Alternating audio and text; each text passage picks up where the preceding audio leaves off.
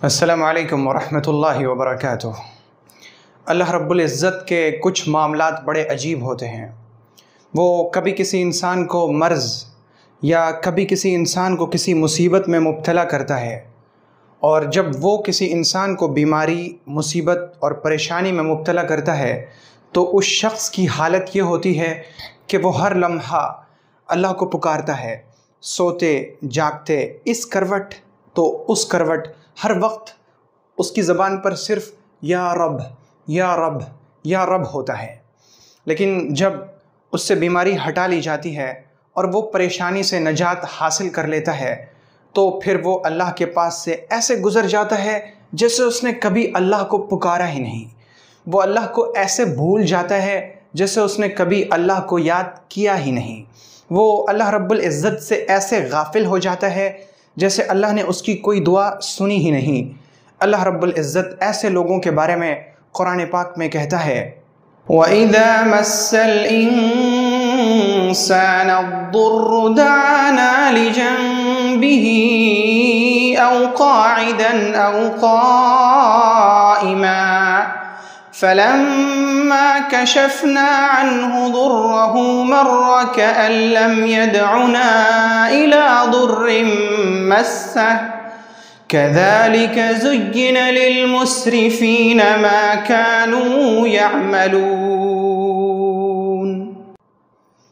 कि जब इंसान को कोई मुसीबत पहुंचती है तो फिर वो हमें हर हाल में पुकारता है लेकिन जब हम उससे उसकी मुसीबत को दूर कर देते हैं तो ऐसा लगता है कि जैसे उसने कभी हमें पुकारा ही नहीं।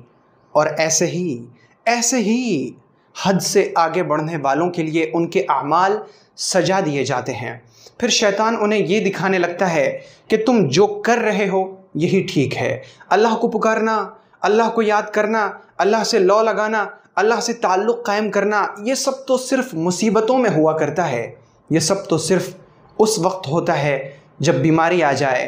जब परेशानी धावा बोल दे, जब मुसीबतों का हमला हो जाए, और जब तुम खुशहाल रहो, खुश ऐश रहो, बेफिक्र रहो, नौकरी भी मिल जाए, शादी भी हो जाए, घर भी बन जाए तो फिर अल्लाह की ज़रूरत क्या? ऐसे लोगों को कान खोल कर ये सुन लेना चाहिए, और दिल खोल कर ये समझ लेना चाहिए कि ऐसे लोग ही हैं जो अल्लाह रब्बुल इज़्ज़त की नज़र में हद से आगे बढ़ने वाले हैं। ऐसे ही लोग हैं जो इबरत बना दिए जाते हैं। ऐसे ही लोग हैं, लोग जिनकी मिसालें देते हैं। ऐसे ही लोग हैं जिन्हें अल्लाह अपने दर से धुतकार देता है। ऐसे ही लोगों से अल्लाह नेकी की तौफीक छीन लेता है। ऐसे ही लोग हैं जिन्हें अल्लाह कभी पसंद नहीं करता। होना तो ये चाहिए कि अगर हमें किसी मुसीबत से नजात मिली हो, किसी परेशानी से हमने छुटकारा पाया हो, हम बीमारी से शिफा पा चुके हों तो पूरी बकिया ज़िंदगी शुक्र में बसर होनी थी। बकिया ज़िंदगी हम अल्लाह के शुक्रगुजार रहते। रोज़ाना अपने वक्त का कुछ लम्हा निकाल कर अल्लाह को याद करते। अल्हम्दुलिल्लाह रब्बिल आलमीन। अल्हम्दुलिल्लाह अला कुल्ल हाल। अल्हम्दुलिल्लाह अल्हम्दुलिल्लाह, अशुक्रलिल्लाह का विरद करते। लेकिन ये क्या कि जब इंसान से मुसीबत टलती है तो वो अल्लाह के पास से ऐसे गुज़र जाता है जैसे उसने कभी अल्लाह को आवाज़ ही नहीं दी है। तुफ है, मातम है, अफसोस है, ऐसी सोच पर और ऐसी अक्ल पर। अल्लाह रब्बुल इज़्ज़त हमें सब्र करने वाला और आफ़ियत की हालत में शुक्र करने वाला बनाए। अब इस गुफ्तगु का आखिरी ततिम्मा यह है कि जो लोग इस तरह के होते हैं कि जब बीमारी आए तो अल्लाह को पुकारें, मुसीबत में अल्लाह से लौ लगाएँ, परेशानी में अल्लाह से ताल्लुक़ मज़बूत करें और आफ़ियत में, सुकून की हालत में, चैन की हालत में, इत्मीनान की हालत में अल्लाह को भूल जाएँ। ऐसे लोगों के साथ अल्लाह करता क्या है? ऐसे लोगों को अल्लाह रब्बुल इज़्ज़त ढील देता है। वो अपनी रस्सी को छोड़ देता है। तुम जाओ, तुम्हें कहाँ तक जाना है? तुम बढ़ो, तुम्हें कहाँ तक बढ़ना है? तुम निकलो, तुम्हें कहाँ तक निकलना है? और फिर एक महदूद मुद्दत तक अल्लाह ताला उसकी रस्सी को खुला छोड़ देता है, उसे मोहलत देता रहता है। तो उसे उस वक्त ऐसा गुमान होता है जैसे अल्लाह ने उसे छोड़ रखा है। अल्लाह ने उसे माफ़ कर दिया है। लेकिन लेकिन जब वो बहुत ज़्यादा गफलत में डूब जाता है तो फिर अल्लाह रब्बुल इज़्ज़त उसकी रस्सी को मज़बूत करता है।